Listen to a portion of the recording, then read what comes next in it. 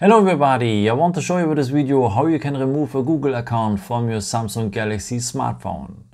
Okay, may you need this if you want to resell your phone. Okay, let me show you how it works. So to remove the Google account, just scroll down here and go to the symbol for the settings. Then you need to scroll down to the point accounts and backup. And here we will need the first point, manage accounts. And you should have a list here maybe with all your accounts, uh, Google account, a Samsung account, a WhatsApp account, and so on. Um, I have just one here, so because I want to show you just to remove the Google account. So you need here the point Google.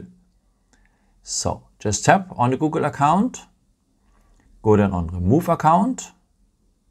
So then he's asking you if you're really sure. Yes, I am. Go on remove account and go on OK.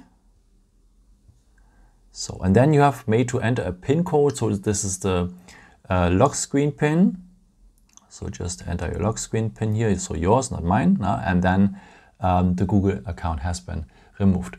You just need to enter a PIN if you have a lock screen PIN. So the one to unlock the phone with. Yeah? So the, if the screen is locked and so on. I think you know what I mean.